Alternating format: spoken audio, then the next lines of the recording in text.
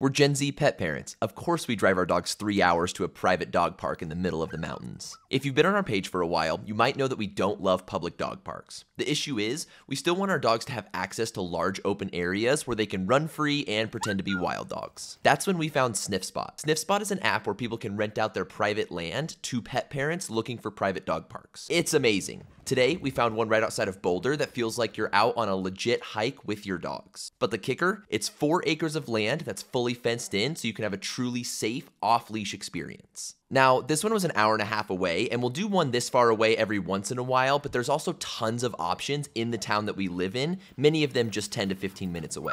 If you're interested in something like this, use code BK underscore 5 off for $5 off your next SniffSpot booking, and follow us for more dog and cat tips.